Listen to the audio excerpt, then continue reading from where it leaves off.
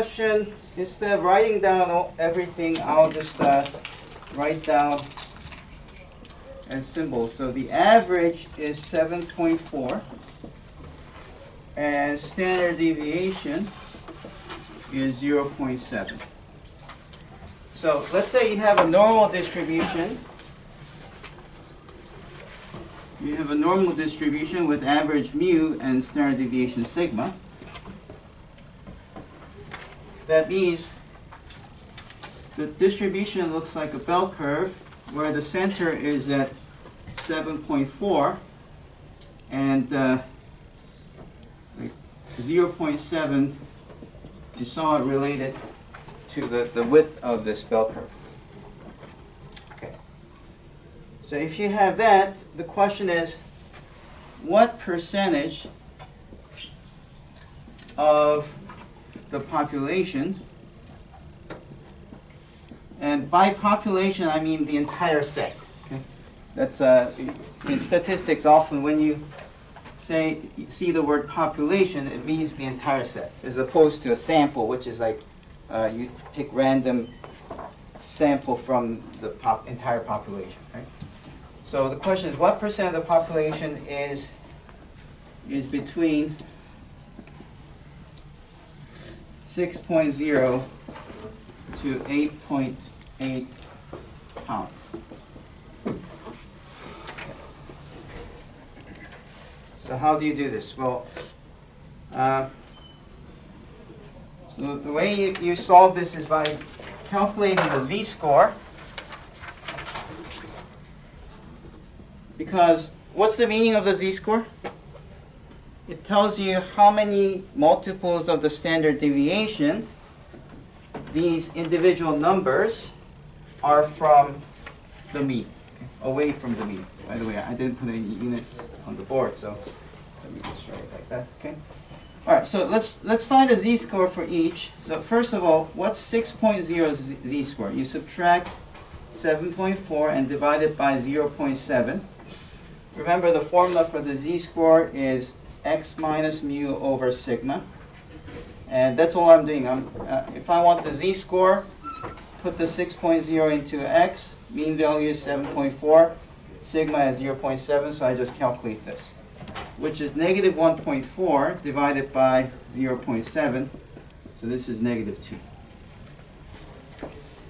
Uh, and similarly, similarly, if I apply this formula for the other one, 8.8, let's see what we get. 8.8 minus the average, divide by the standard deviation, and that's positive 1, 4,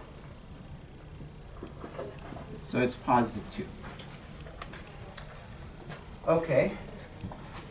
And at this point, there, uh, you can just simply say, oh, oh, this is, you're saying you want two standard deviation this way and also this way, right, from the mean, right? So negative 2 means you go two standard deviations to the left and two standard deviations on the right.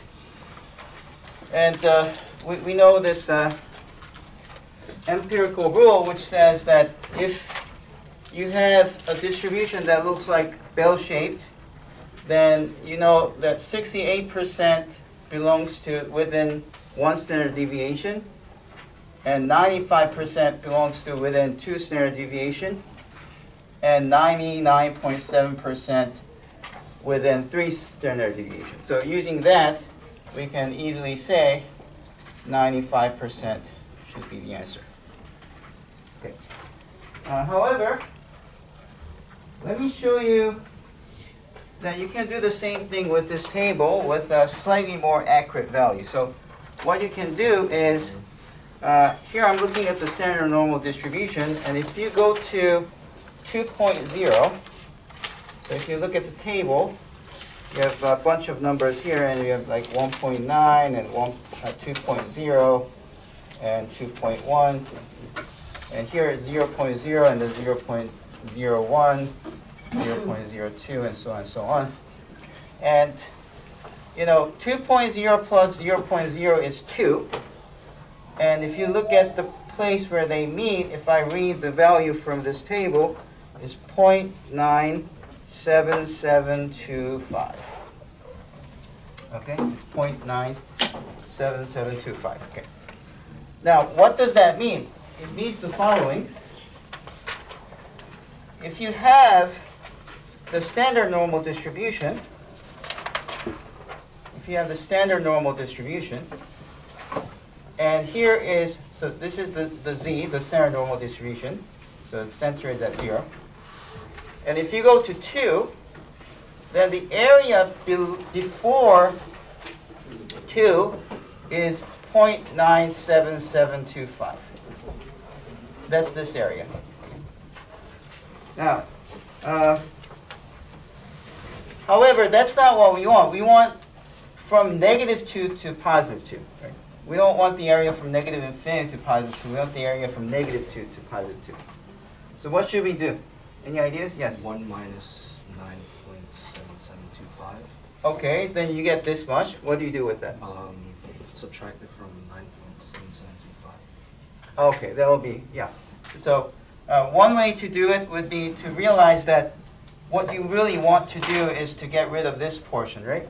So what you can do is you can subtract from 1 minus, so if you do 1 minus 0.97725, that's going to be uh, 0.02275, right?